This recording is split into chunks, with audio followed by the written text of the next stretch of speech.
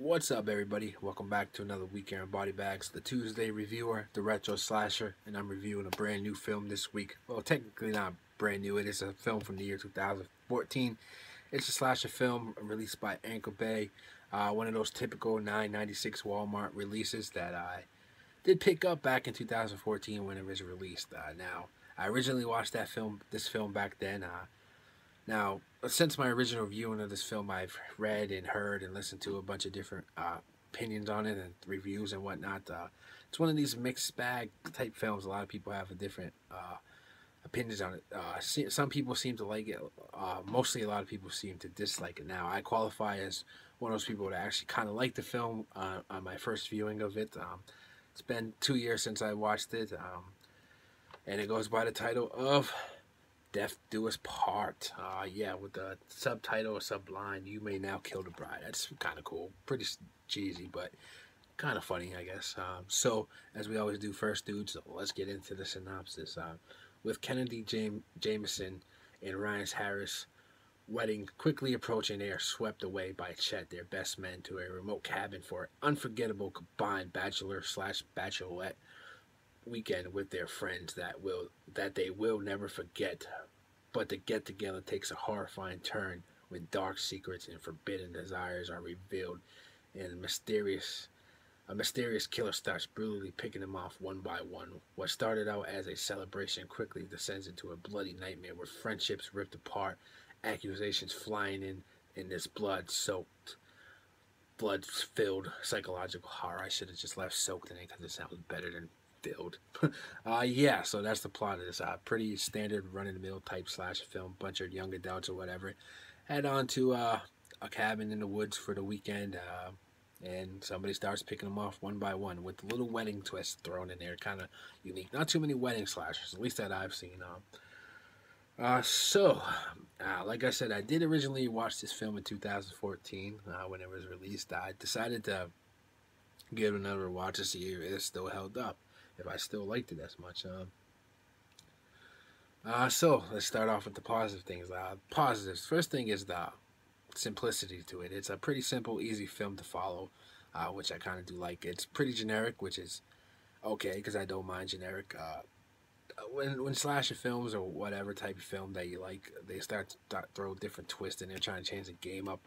Uh, it can either come off really gimmicky or okay. Uh, this is standard, so it doesn't really qualify as that, so it's good. Uh, good story. I really think the plot of it. Um, now, a, lo- a lot of people's complaint with this film ha- happens to be the unlikability of the characters. Uh, now, there's a few different characters in this film that I can see some people not liking. Personally, I don't really mind any of the characters out there. Pretty much all cool in my book. Uh, I kind of really dig the the relationship between the the the fiance and uh, and fiance fiance and whatever the groom, whatever you call the male or female. Uh, maybe they're both coffee. I don't know. I'm not married. I never got married. I don't know anything about that. But anyways, I, I like their relationship. It's kind of unique. Um, there's a lot of backstory to it. Uh, a lot of different things involving their relationship, which I will not spoil, of course. But uh, a unique dy- dynamic between the, the two characters and some of the other characters involved in the film. Now, um, yeah, so I don't mind the characters. I don't really see what the big fuss is about. Um, now, as to the kills and whatnot, of course, it's a slasher film. Does it have good kills or not? Uh, the kills are pretty standard and okay. They're not anything mind blowing or groundbreaking or amazing. Uh, they're pretty standard uh, axe kills and knife kills and what such. Um, but they're pretty decent. It has pretty decent effects. A uh, good amount of blood and pretty decent body count. Uh, that's another positive I would say. Now, uh, and it's shot beautifully too. It's really well made. I don't really think it's poorly executed. Uh, structured well and everything. I think that aspect of it. I'm just kind of rambling on about different things now. Let's get into some negative things about this film. Um, first thing about the negative thing I'm about to say is um,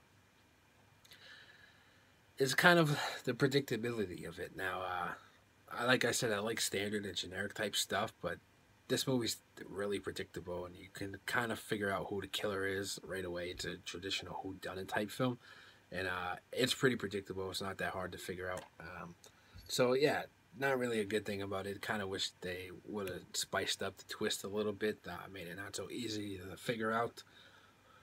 Uh, yeah. So I don't really know. Um, I also I kind of really dig the ending. I, like I said, it's, the movie's predictable, but the, the ending's pretty cool. I like how they decided to end the film. I think it was pretty well done. Um, yeah. So my overall thoughts on this, I still really kind of do enjoy this film. I know a lot of people don't. Uh, that's okay. That's their opinion. Uh, but this is a fun film. Pretty standard slash film. Not the greatest thing. Not the worst thing I've ever seen. Uh, so if I'm gonna rate this thing, I'm gonna give it a six and a half out of ten. Not too bad. I, I do somewhat recommend it uh, if you're just a hardcore slasher fan. If you're not really into slashers, this probably isn't for you. But I don't know.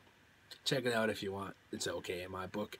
That is Death Do Us Apart uh, yeah, so my review, guys. I'll see you guys next week with a brand new review. Uh, until then, I'll see you guys later. Peace.